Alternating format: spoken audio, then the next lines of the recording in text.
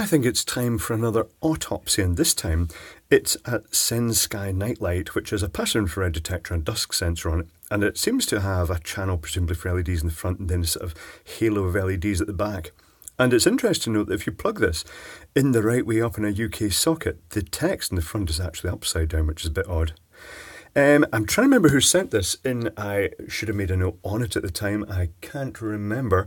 I tried looking in Gmail, but it must have been through one of the other communication sources, so it's uh, not. I've not found it despite searching for specific keywords.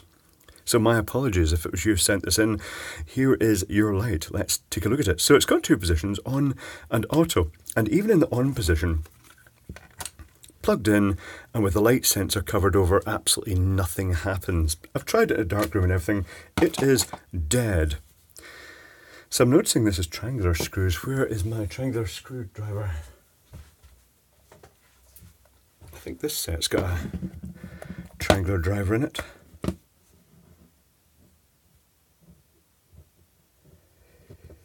Let's try that one.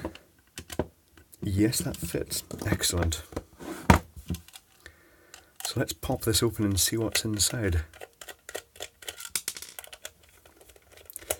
I wonder if it's something simple. Maybe uh, the capacitor's failed and there is an inline fuse or a inrush current limiter that has inrushed. Yep. We shall soon find out.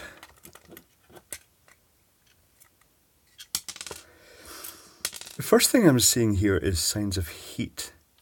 Signs of heat around, oh, it smells quite bad as well, and it looks a bit discoloured inside.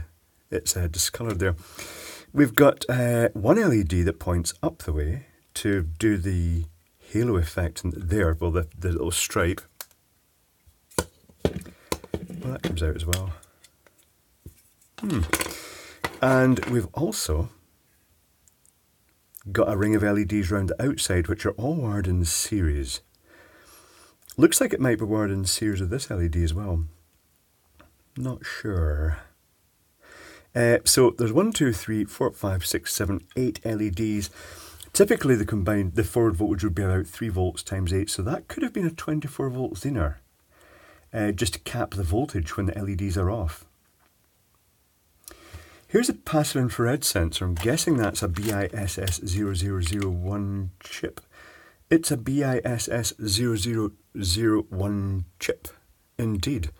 Uh, standard pass infrared detector chip. This is almost certainly a voltage regulator. 78L05, that's a 5 volt low current voltage regulator. That is being fed from, they're using a resistor to partly drop some of the dissipation from that. Um, and I'm guessing that the Zener here has been cooked. Shall we plug this in and test the voltage across it? Is this is this safe? No, it's not. Am I going to do it? Yes, I am. Let's see if it all pops out and thrusts live circuit boards into my hand. So let's uh, measure some voltages.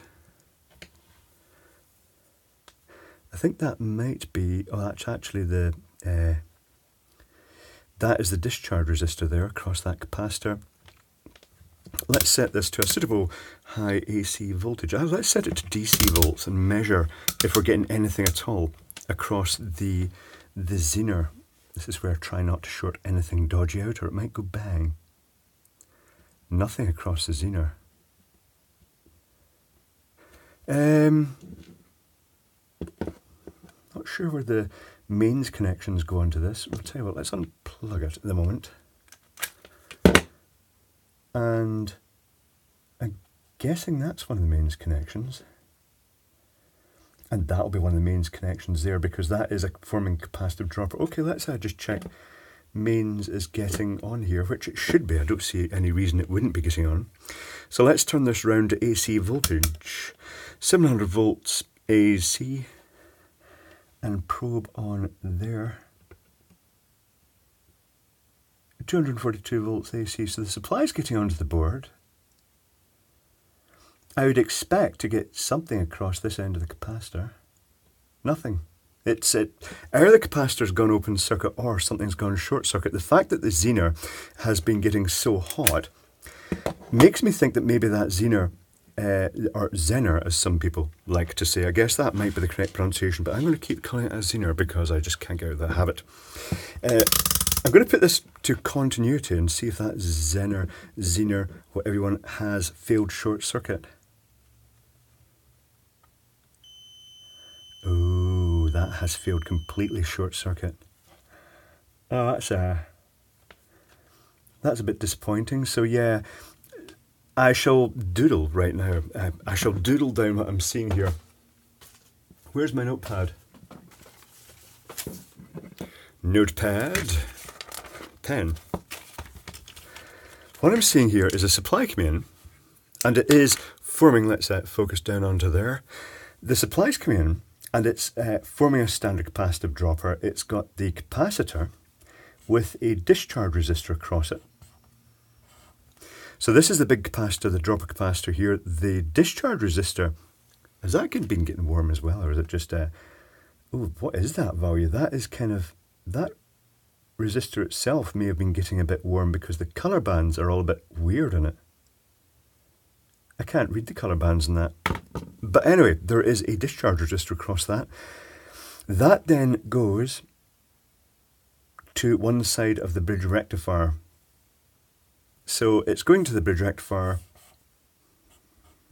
I'll just draw it as a lazy bridge rectifier as I usually do. The other connection is going straight to the bridge rectifier from the mains.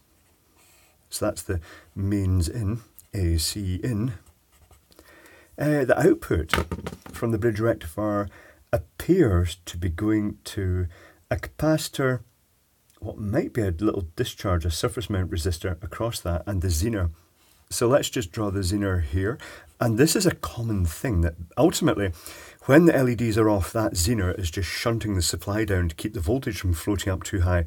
That's probably to protect the sim, uh, the 5 volt regulator, the LM uh, 7805. So we get the capacitor across here. I can actually see the capacitor tucked under the circuit board here, and it's just bridged across there. So it's going to have been baked by that uh, hot zener. I should get the soldering on here. Let's uh, see if I can get this, salvage this light in some way. Um,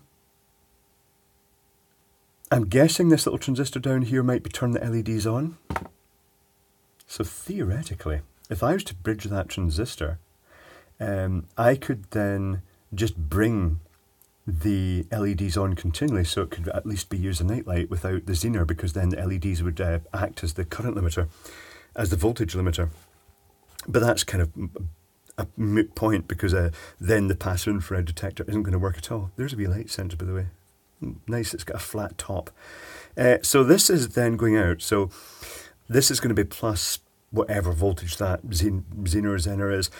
Say 24 volts, it's probably going to be above that. Zero volts, although it's not actually zero volts, is referenced to the mains. Then there's the 7805, 05, regulator, which is taking that in, and uh, it's actually got a resistor in series with it. This resistor here. Um, and then it will be going down to the zero volt rail, and that will be supplying the PIR circuitry. PIR. Uh, and I would guess that there might be a resistor in series this, or it might just be relying on this capacitor here. But there'll be a resistor, possibly in series these LEDs, that will, uh, when this transistor switches on, it will bring those LEDs on. And at that point, the zener would have stopped dissipating heat, although it's not going to do anything. It's not dissipating any heat at the moment because it has gone dead short short circuit by the look of it. Right, I'm going to try and remove that zener now, and uh, we'll just check it is absolutely short circuit. Pretty sure it is. Uh, this is where I may have to use high speed alternating between either side of this because it's a surface mount component uh, just to try and desolder it. So I shall melt some fresh solder on that side and on that side to wet it and then uh, alternate from side to side until it kind of it's out. Okay. Rightio. Let's double check that little tiny zener. I'm guessing that the Zener or Zener was named after someone. Dr. Zener. That is absolutely short circuit. That should have either displayed uh, a very high value because the meter would not exceed its forward voltage or roughly about 0.6 volts like a normal diode. So that Zener diode has screwed up. I'll just alternate. I'll say Zener half the time and uh, Zener the other half and that should please everybody. Uh, so right now, uh, I don't know what I've got in the way of Zeners. Hold on, I'm just going to check. Okay, well I did not have any Zeners or Zeners anywhere near that range. But I've done a bit furthermore reverse engineering. This LED is just a sort of like an indicator LED, and it's got a resistor in series with it. What is the value of that resistor? It's 392, so that's 3.9k, 39 uh, and two zeros, 3,900 ohms. And there is a resistor in series, the string of eight LEDs around the outside. The value of that resistor is 301. So 3, 0 and 1, 0, so 300 ohms. And they're switched by a transistor with the signal from the passive infrared detector module down here. And I reckon that I can at least recover this as a basic without that without replacing that zener, which would get very, very hot again. Um, I wonder if this is, is a common failure mode in these lights. Uh, but I can put a link across. Another thing could be done here, or maybe not. Uh, actually, it should be able to be do that. To be able to do that, the value of that capacitor could have been made lower, and that would have taken a lot of the strain off the Zener diode. So uh, I'm going to bypass the transistor by going straight to the LEDs here, uh, and up to this leg of the output, the power supply. So let's uh, solder one end of a small wire link on here and the other end of the wire link onto here. And theoretically, when I plug this in, it's either going to go bang or it's going to work. I know you guys wanted to go bang. That's fine if you wanted to go bang, but uh, well, this is where I overconfidently say I'm sure it will work. But let's keep my fingers well clear of it anyway when I plug it in. Ta-da! It's now lit up. So uh, that has now been converted into an ordinary Oh, look at the colour. That is weird. They've got complete different colour of LEDs on the other side. Or is that... Is that just smoky discoloration? It might actually be. No, the LEDs look a, a different shade of white on the other side. So um, that is kind of it fixed. To fix it properly, I'd need to add the Zener. Uh, I would also, I'm just going to turn the light on, so beware, there's going to be, actually, I'll just shield you from that by just pausing momentarily. And we're back without any blinding glare. Let's take this uh, circuit board out and take a look at the value of that capacitor and see what could be done to actually make this uh, somewhat less aggressive to the, um, to the Zener. I'm not sure I could actually measure the capacitor in circuit. I could have tested the capacitor in circuit, or I can just take a look at it, but it might actually be obscured anyway. Oh, it's got a fuse in line. The capacitor's value may be obscured. I wonder if that uh, resistor still, the discharge resistor still works. It does look a wee bit uh, twisty. Let's measure the DC voltage across it and see uh, if it is discharging. Usually, uh, when you put the meter across, the meter will have a discharging effect, but there, you can often see a sudden deflection of the voltage uh, briefly. So let's uh, get onto there. No, nothing. It's completely discharged. I'll just check that. Put my fingers across it. Yes, it's discharged. One day I'll do that while it's still plugged in. The capacitor's value is obscured. 400 volt capacitor. It's a 680 nanofarad capacitor. I wonder if you could uh, still run the passive infrared detector um, by reducing the current somewhat. I think you probably could. I don't think the PIR circuit is going to draw that much, so theoretically you might be able to.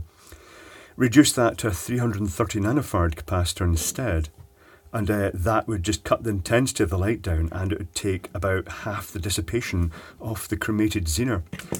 Uh, there we go. It's kind of fixed, but it's not a fix. Uh, but it, uh, it at least pinpointed the problem and proved that it was faulty by bypassing the control circuitry to bring it on, and of course taking this out and testing and finding it was dead short circuit. Many semiconductor components do fail dead short. If you uh, have a dimmer switch in your house, and one day you turn it on and the lamp it's controlling goes pop, and you replace the lamp and uh, reset circuit breaker if, it, if it's tripped the breaker, you may find that the dimmer is just not responding anymore. It's just at full intensity. And the same with uh, disco lights. Some of the older disco light systems used to just a channel used to jam on. And if you go to the fairground, you'll often see the control systems for the uh, fairground lighting. A section's jammed on. That's usually down to a failed uh, component, uh, like a. Uh, in that, those cases, it's a triac.